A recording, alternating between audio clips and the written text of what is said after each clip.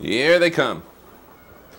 And they're off. Answering the call is Skip and Mike. On the other side, Eastern Hanover. On the inside is DeMott Junior Beach. Then it's Val's Precious Boy, followed by Outlaw Hard Promises, Tigerific, Spooky Nook, and Cutler Alley. So in the first of four turns, coming out of there the best is DeMott Junior Beach. Skip and Mike goes behind. Third is Val's Precious Boy. Fourth, Outlaw Hard Promises. Jackie didn't want to go anymore with Eastern Hanover and puts him in fifth. In front of Tiger Tigerific and it's Spooky Nook and Cutler Alley. DeMott Junior Beach finds himself on the front end, not there very often.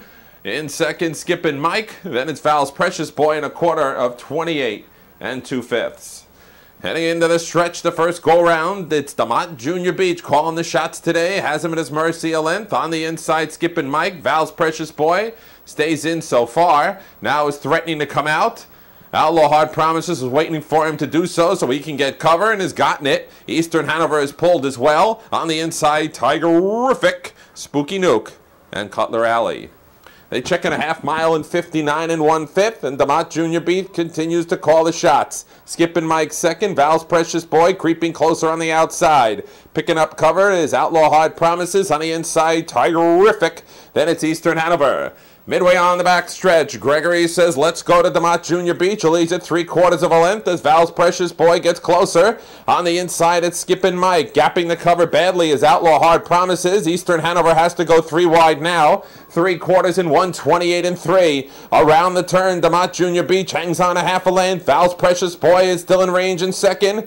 Going off stride in the back was Eastern Hanover. Eastern Hanover made a break. Meantime, DeMott Junior Beach comes through a length and a half. Val's Precious Boy still chasing him. DeMott Junior Beach, Val's Precious Boy, he's trying his heart out. He comes in 50 cents short. DeMott Junior Beach, wire to wire. Val's Precious Boy second. Outlaw Hard Promises third. And